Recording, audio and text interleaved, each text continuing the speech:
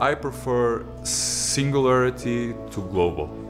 I prefer that people have the capacity to choose and I prefer things that are different than things that are repetitive.